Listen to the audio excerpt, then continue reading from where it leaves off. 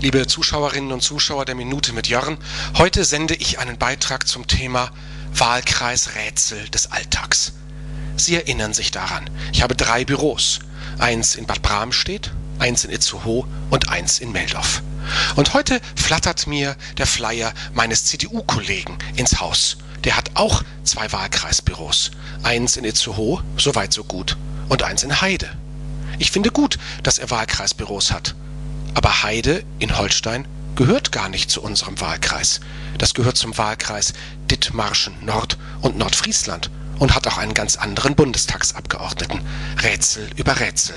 Vier Jahre gute Zusammenarbeit, aber vier Jahre ein Wahlkreisbüro außerhalb. Man weiß nicht warum. Alles Gute.